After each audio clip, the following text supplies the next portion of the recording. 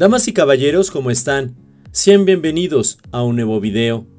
Huawei por primera vez en la historia y un trimestre completo ha superado en ventas a Samsung.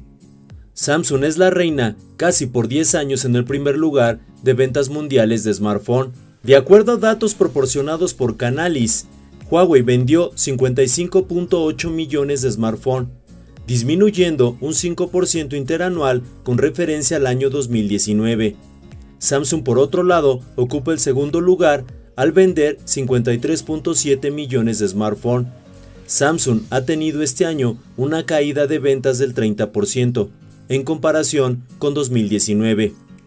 Huawei todavía está bajo restricciones estadounidenses, esto no lo deben de olvidar pero su participación en el mercado interno, es decir, en China, está aumentando rápidamente los últimos trimestres debido a la recuperación económica tras la pandemia de COVID-19. Este es un resultado notable que pocas personas habían previsto. Ha explicado el analista senior de Canalis, Ben Statton. Si no fuera por la pandemia de COVID-19, esta situación no habría sucedido. Huawei ha aprovechado al máximo la recuperación económica en China para reactivar los negocios de los smartphones. Samsung tiene una presencia muy pequeña en China, con menos del 1% de participación de mercado, y ya ha visto cómo en todo el mundo y sus mercados principales, es decir, Brasil, México, India, Estados Unidos y Europa, están totalmente devastados por el brote de COVID-19. En pocas palabras, Simplemente no hay negocio actualmente de los smartphones. Por eso a mí me sorprendió bastante el reciente anuncio del precio de la serie Note 20, porque en lugar de bajar los precios previendo esta situación de que no hay economía a nivel mundial, han subido los precios, una situación que no es coherente. Ocupar el primer lugar para Huawei es bastante importante, Huawei necesita mostrar su fuerza de marca a los consumidores nacionales, proveedores y de componentes, así como a desarrolladores. Necesita convencerlos de que inviertan y transmitan el mensaje de su éxito a lo largo y ancho de los próximos meses, porque será muy complicado para Huawei mantener el liderazgo a largo plazo. Sus principales socios de canales de región clave, como en América y en Europa, están desconfiando cada vez más del alcance de los smartphones de Huawei. La adquisición de menos modelos y la incorporación de nuevas marcas para reducir el riesgo económico.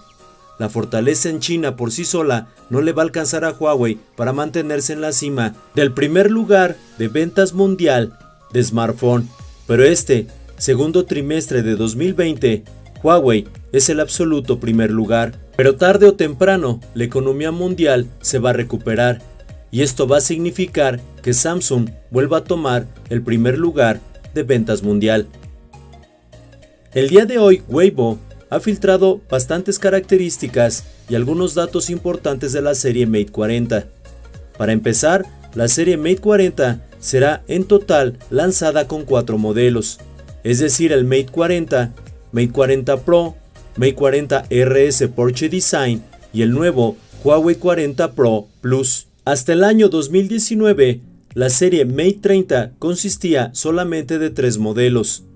Ahora con la serie Mate 40 se incorporará el Mate 40 Pro Plus. El Mate 40 Pro y Mate 40 Pro Plus se equiparán con un display más grande y más curvo en comparación a la serie Mate 30 Pro. La pantalla tendrá una frecuencia de actualización de 90 Hz y el procesador es el Kirin 1000, fabricado en la tecnología de 5 nanómetros, un procesador que parece todo indicar que será solamente vendido en China. Fuera de China se ocuparían procesadores de Qualcomm o de MediaTek. Esta situación aún no ha sido confirmada en su totalidad. Pero lo que voy a informarte a continuación nos puede dar luz de hacia dónde va Huawei con los procesadores en alta gama, ya que Huawei ha acordado pagarle al fabricante estadounidense de procesadores Qualcomm una suma de 1.800 millones de dólares para resolver su larga disputa de infracciones de patente. Qualcomm actualmente posee patentes sobre varios componentes clave de los smartphones y generalmente otorga licencia de sus productos.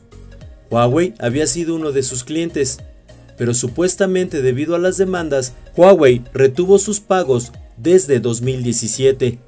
Después de este acuerdo y esta negociación, Huawei y Qualcomm han firmado un nuevo acuerdo que otorgaría licencia de la tecnología patentada de Qualcomm para Huawei. Este acuerdo también es una especie de escenario de beneficio mutuo para ambas partes, ya que Qualcomm ya está viendo los beneficios ya que ha incrementado el valor de sus acciones debido al veto de Estados Unidos sobre Huawei. Huawei también se beneficia de este acuerdo al obtener acceso a varias tecnologías de Qualcomm, especialmente componentes clave para los smartphones. Para el director de Qualcomm, ha aclarado que el nuevo acuerdo es coherente con el marco del programa de licencias e incrementa los pagos percibidos por parte de Huawei. Así que, damas y caballeros, la situación es muy simple. Qualcomm y Huawei han llegado a un arreglo comercial donde Huawei debía por eh, uso de patentes de Qualcomm, se han arreglado y ahora todo indica que los smartphones de gama alta de Huawei ocuparán procesadores de Qualcomm. Por eso han tenido este arreglo y se establece todo para que Qualcomm pueda vender los procesadores a Huawei. Damas y caballeros, están ustedes informados. Agradezco mucho tu tiempo y atención a este video.